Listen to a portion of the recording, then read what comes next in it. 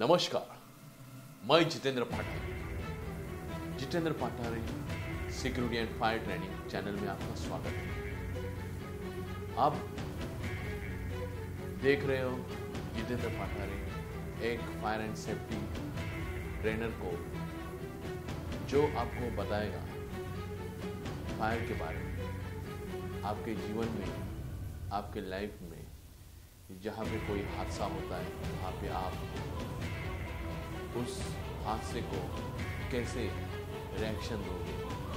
ये मेरे वीडियो देखने के बाद आप जान लेंगे पहले मैं आज आपको बताऊँगा फायर क्या है?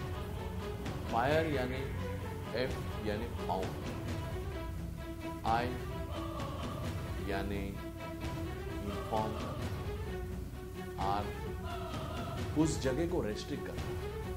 और ई यानी वहाँ पे जहाँ पे आग लगी है, उसको एक्सटिंग्विश करना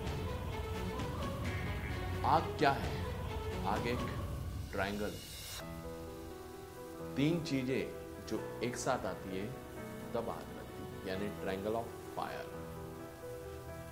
heat oxygen और फ्यूल ये तीन चीज़ें हैं जब एक साथ आती है, तब आग लगती है।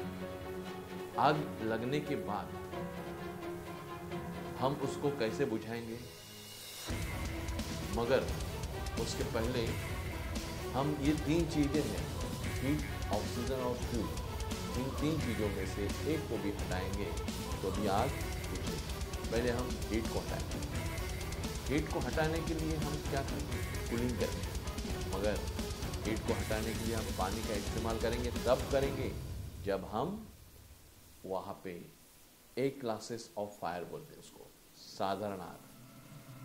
कपड़े को लगी हुई आग भुट्टे को लगी हुई आग, कचरे को लगी हुई आग, जहाँ पे केमिकल नहीं है, कोयला को लगी हुई आग, ये आग हम सिर्फ़ पानी से बुझा सकते। सिर्फ़ पानी से बुझा सकते हैं और यानी हीट को हटाने के लिए हम करेंगे कूलिंग ठीक है?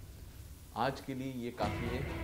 हम ऐसे ही इसके प्रकार के दस या पंद्रह जितने हो सकेंगे, उतने हम वीडियो आपको बताएँगे और आपको उसकी जानकारी फ़िलहाल आपको पता चला रहेगा तो हमारे, आपको अच्छा लगा रहेगा तो हमारे YouTube चैनल को सब्सक्राइब करिए वीडियो को लाइक कीजिए आपको क्या लगता है इस वीडियो के बारे में तो हमें कमेंट करके बताइए और शेयर कीजिए।